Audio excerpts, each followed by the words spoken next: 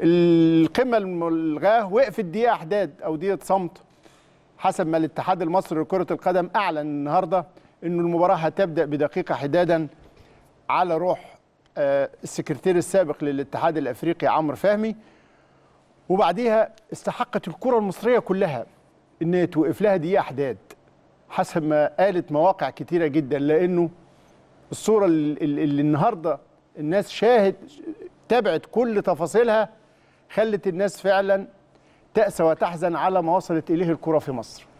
لا دي التفاصيل كمان. السيناريو الركيك الغير محكم امتداد لسيناريوهات بقالها كام يوم سواء آه، في تبرير العقوبات أو في المستندات. خلي بالك يا أستاذ إبراهيم في الحتة دي بس عشان إيه نوضح تاني وتالت ورابع.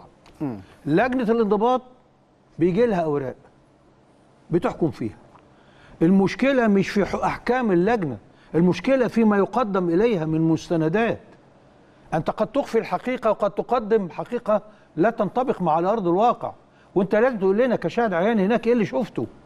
يعني لما يقال و- وإن كان دي ليها فقرة إن كهربا خد أقصى عقوبة لأنه الذي بدأ الشرارة هنوريكم بصوت وصوره مين اللي بدأ الشرارة. طيب.